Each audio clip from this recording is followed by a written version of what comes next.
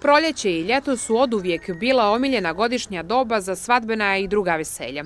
A sada, obzirom da su ukinute skoro sve korona mjere, u glavnom gradu je prosto nemoguće naći slobodan termin za organizaciju svadbe čak do decembra. Dok su neki svoje termine zakazali još prije godinu dana, iako nijesu znali kada će moći stati pred matičarem, drugi sada pokušavaju da realizuju planove koje su otkazali zbog pandemije, pa svadbena veselja zakazuju i radnim danima. Što se tiče interesovanja, isto je kao prije nego što je bila korona, virus, pandemija koja nas je onako malo stopirala u svemu tome. Čak što više bih mogla reći da je povećano interesovanje, zato što imamo rezervisane termine skoro do decembra. 90% termina je rezervisano. Što se toga tiče i u toku nedelje se sad rade svadbe, organizuju, zato što se ljudi možda plaše nečega što se može desiti na zimu. Svadbi sve više, uprkos tome što je sudbonosno da skuplje. Naime, cijena stolice po gostu, to jest menije u restoranima, je povećana uslijed skoka cijena osnovnih životnih namirnica. Definitivno se desio veliki skok cijena hrane, što utiče i na naš rad, a i na povećanje cijena za mladence. Tu povećanje cijena i nije nešto mnogo, zato što je došlo 2 eura po stolici, po osobi, da tako kažem, da bude jasnije ovaj, mladenci u početku je svima njima, a i nama bilo malo to, da kažem, neobično. Međutim, ko se odluči da pravi svadbu, ne pravi pitanje oko povećanja od 2 eura.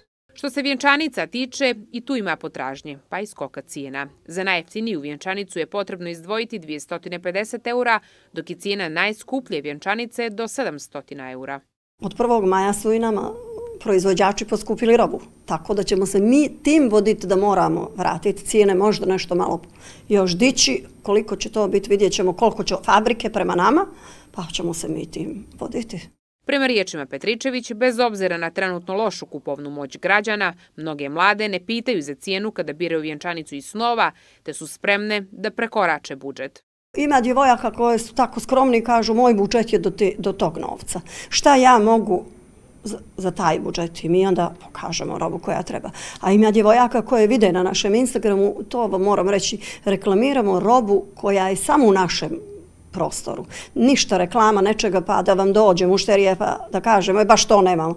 Samo ono što imamo u salonu to reklamiramo. Djevojka dođe sa sličicom, skine s našeg Instagrama, sa naše stranice, hoću da probam. To nekad se desi da tu jednu haljinu proba i ode, a nekad, boga mi, djevojke skinu i 15 i 20 haljina, dok se nađe prava. Bitna stavka svake svadbe je i muzika, za koju je također potrebno izdvojiti dosta novca. No, ipak, većina muzičara je uglavnom zadržala stari cijenovnik svirke, pa se većina njih uzda u bakšiš od svatova. Kad smo se šalili sa jednom pjesmom, e, za ljubav treba imati dušu, sad govorimo za ljubav treba imati para.